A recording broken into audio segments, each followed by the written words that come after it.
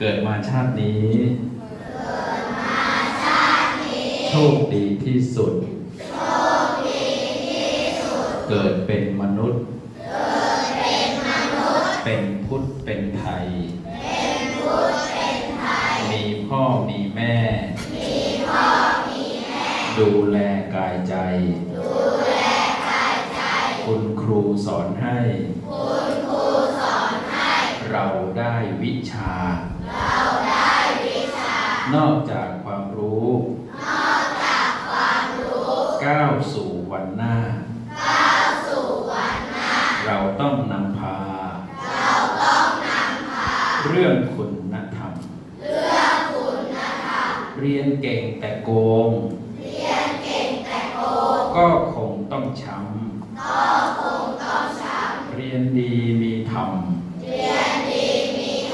เลิศล้ำแน่นอน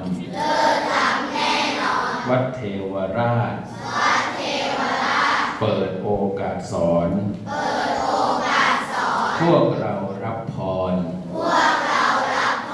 สาธุดังๆ สามครั้ง